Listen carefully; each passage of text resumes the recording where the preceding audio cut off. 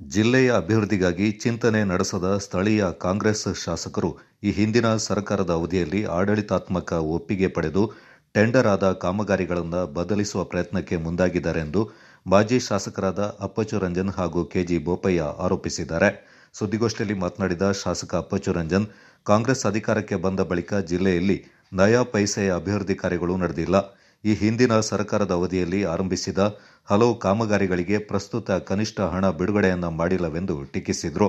ಮುಖ್ಯಮಂತ್ರಿಗಳ ಪರಿಹಾರ ನಿಧಿ ಪ್ರಾಕೃತಿಕ ವಿಕೋಪ ನಿಧಿಯಡಿ ಹಿಂದಿನ ಸರ್ಕಾರದ ಅವಧಿಯಲ್ಲಿ ಮಡಿಕೇರಿ ಮತ್ತು ವಿರಾಜಪೇಟೆ ಕ್ಷೇತ್ರಗಳಿಗೆ ತಲಾ ಏಳು ಕೋಟಿ ರೂಪಾಯಿ ಅನುದಾನವನ್ನು ಒದಗಿಸಲಾಗಿತ್ತು.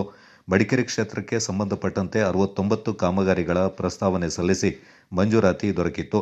ಪ್ರಸ್ತುತ ಈ ಎಲ್ಲ ಕಾಮಗಾರಿಗಳನ್ನು ಬದಲಿಸಲು ಮಡಿಕೇರಿ ಶಾಸಕರು ಗ್ರಾಮೀಣಾಭಿವೃದ್ಧಿ ಮತ್ತು ಪಂಚಾಯತ್ ರಾಜ್ ಇಲಾಖೆಗೆ ಪ್ರಸ್ತಾವನೆಯನ್ನು ಸಲ್ಲಿಸಿದ್ದಾರೆಂದರು ನಮ್ಮ ವಿರಾಜಪೇಟೆ ಇರ್ಬೋದು, ನಮ್ಮ ಸೋಮಾರಪೇಟೆ ಇರ್ಬೋದು ಕುಶಾನಗರ ಇರ್ಬೋದು ಎಲ್ಲ ರಾಜ್ಯದಲ್ಲೂ ಕೂಡ ಪಂಚಾಯತಿಗೆ ಎಲ್ಲ ಅಡ್ಮಿನಿಸ್ಟ್ರೇಟರ್ ಹಾಕಿದ್ದಾರೆ ಟ- ಪಟ್ಟಣ ಪಂಚಾಯತಿಗಳಿಗೆ. ಸುಮಾರು ಐದು ತಿಂಗಳು ಮೇಲೆ ಆಯಿತು. ಅಧ್ಯಕ್ಷರು, ಆ ಸದಸ್ಯರೆಲ್ಲ ಸುಮ್ಮನೆ ಕೂತ್ಕೊಂಡಿದ್ದಾರೆ. ಅದನ್ನು ಕೂಡ ಅಧಿಕಾರವನ್ನು ಕೊಡುವಂಥ ಕೆಲಸವನ್ನು ಕೂಡ ಅವರು ಮಾಡಲಿಲ್ಲ.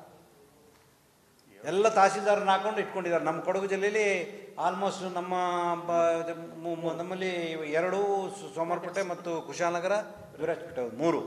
ಮೂರು ಜಾಗದಲ್ಲಿ ಕೂಡ ಅಧ್ಯಕ್ಷರೇ ನೇಮಕ ಮಾಡಿಲ್ಲ. ಆ ಪಟ್ಟಣ ಪಂಚಾಯತ್ ಸದಸ್ಯರಿಗೆ ಏನು ಕೆಲಸನೂ ಕೂಡ ಕೊಡಲಿಲ್ಲ. ಈ ರೀತಿಯಲ್ಲಿ ಫಂಡ್ಸ್ ಕೊಟ್ಟಿದ್ದನ್ನು ಕೂಡ ಇವ್ರಿಗೆ ಖರ್ಚು ಮಾಡ್ಸೋಕ್ಕಾಗೋದಿಲ್ಲ ಅಂತಿದ್ರೆ ಇನ್ನು ಯಾವ ಪುರುಷಾತಕ್ಕೆ ಇವ್ರು ಗೆದ್ದಿದ್ದು? ಕೇಳ್ಬೇಕಲ್ಲ ನಾವು. ಅದ್ರ ಜೊತೆಗೆ ನಾನು ಈಗ ಯಾವತ್ತು ಯಾರಿಗೆ ಟೆಂಡರ್ ಆಗಿದೆ ಅಂತ ಹೇಳಿದ್ರೆ ನಾವು ಎಲ್ಲ ಕಾಪಿಯನ್ನು ಮಾಡಿ ಕೊಟ್ಟಿದ್ದೇನೆ ಸ, ಇದು ನೋಡಿದ್ರೆ ಗೊತ್ತಾಗ್ತದೆ, ಅವ್ರು ಲೆಟ್ರ್ ಕೊಟ್ಟ ಕಾಪಿನೂ ಕೂಡ ಕೊಟ್ಟಿದ್ದೇನೆ ಯಾವ ಯಾವ ಡೇಟಿಗೆ ಆಗಿದೆ ಆ ಆದೇಶಕ್ಕೆ ಕಾಪಿ ಇದೆ.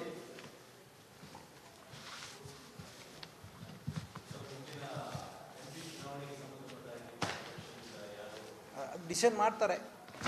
ನಾವು ಯಾರೇ ನಿಂತರೂ ನಾವು ರೆಡಿ ಇದ್ದೀವಿ. ಬಿ ಜೆ ಪಿಯವರು ಕೆಲಸ ಮಾಡ್ತೀವಿ ಗೆಲ್ಲಿಸ್ತೀವಿ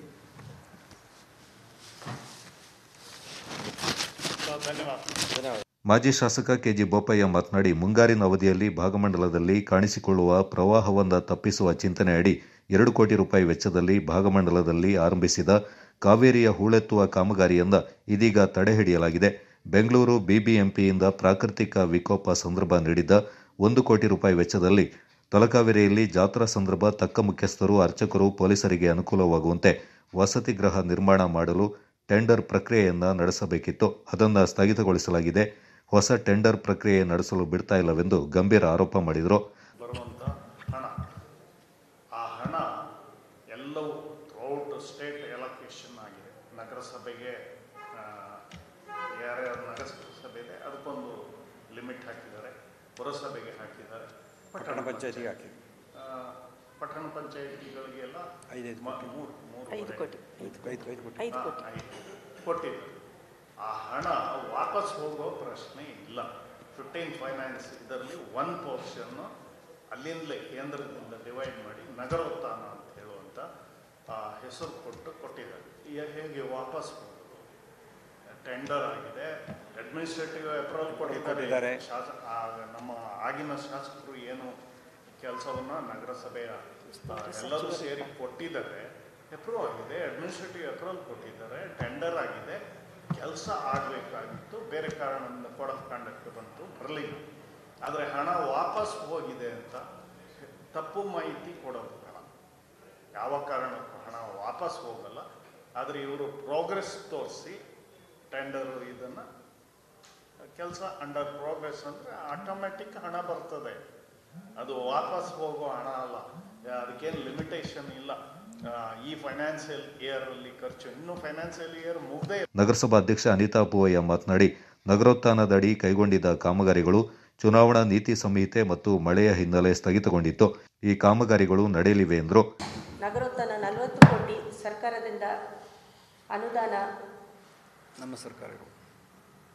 ಹಿಂದಿನ ಸರ್ಕಾರ ನಲವತ್ತು ಕೋಟಿ ಅನುದಾನವನ್ನು ಘೋಷಣೆ ಮಾಡಿತ್ತು ಅದರಲ್ಲಿ ಹದಿಮೂರು ಕೋಟಿ ರಸ್ತೆ ಮತ್ತು ಚರಂಡಿ ಕಾಮಗಾರಿಗಳಿಗೆ ಟೆಂಡರ್ ಕರೆದು ಕಾಂಟ್ರಾಕ್ಟ್ರ್ ಕೆಲಸವನ್ನು ಪ್ರಾರಂಭ ಮಾಡಿ ಹಲವಾರು ಕೆಲಸಗಳನ್ನು ಪ್ರಾರಂಭ ಮಾಡಿದರು.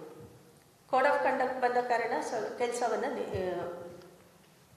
ಮಾಡ್ತಾ ಇದ್ರು, ಸ್ಲೋ ಆಗಿತ್ತು.